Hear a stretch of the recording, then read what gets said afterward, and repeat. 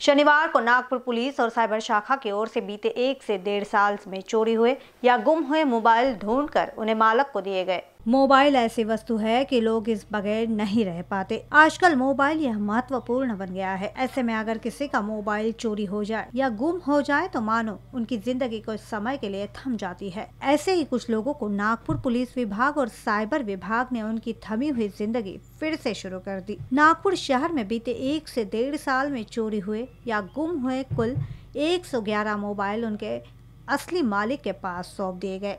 जिसकी कीमत बत्तीस लाख छह हज़ार एक सौ सत्रह रूपए बताई जा रही है। ये पहला ही मौका है कि इतनी बड़ी संख्या में चोरी या गुम हुए मोबाइल ढूंढकर उसे असली मालिक को दिया गया। शनिवार को पुलिस जिम खाना परिसर में हुए छोटे कार्यक्रम में सुनील फुलारे, इनके हाथों 111 नागरिकों को फ़ोन वापस दिए गए। फ़ोन मिलने पर सभी ने पुलिस का आभार भी माना। पुलिस उपायुक्त सुनील फुलारे ने कहा कि मोबाइल गुम होने की या चोरी होने की शिकायत जनता संबंधित पुलिस थाने में या साइबर विभाग में करना चाहिए।